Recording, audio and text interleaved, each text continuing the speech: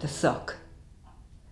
Sometimes together, most often alone, we'd slip the catch on the rusted chain, follow the cart track through the bottoms.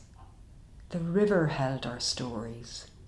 It was where we'd go to talk or cry or be quiet in the company of the current, whether it flowed fast after a flood, rolled in circling eddies, or drifted smooth and slow past stands of alder and silver green willow. We could look as far as the next bend or out to the island, speckled with yellow iris, bordered with sedge. We could dream of leaving, making lives of our own. Ask the river to bless us. Let us go.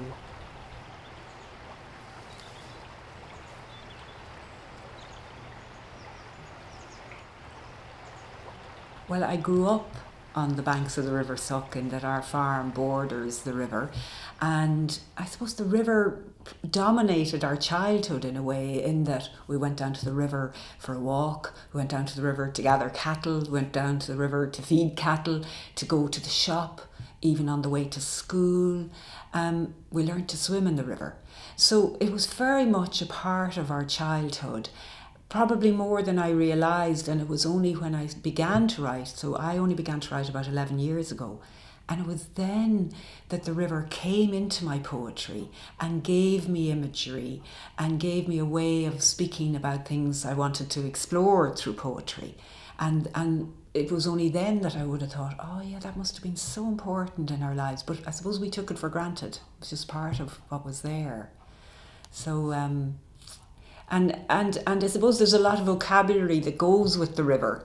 Uh, in terms of like even the bottoms, like that's in the poem The Suck. Lots of people don't know what you mean by the bottoms, and obviously it's that low lying land at the edge of a river. I can remember all of those things, the different times of year. The river is different at different times of the year, and uh, all of that is in my memory and I wouldn't have realized it was there until you start to write and your your your writing brings those things back to you.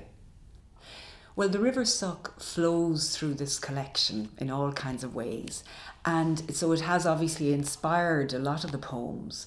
And I think it's both the physical reality of the river, uh, in terms of remembering it from when I was a child and spending lots of time down by the river, but it's also what it represents. Uh, in that it represents both transience and steadfastness and there's but it must also be perhaps when I was a child I picked up something of the rhythm of the river and that that has influenced my writing voice as well.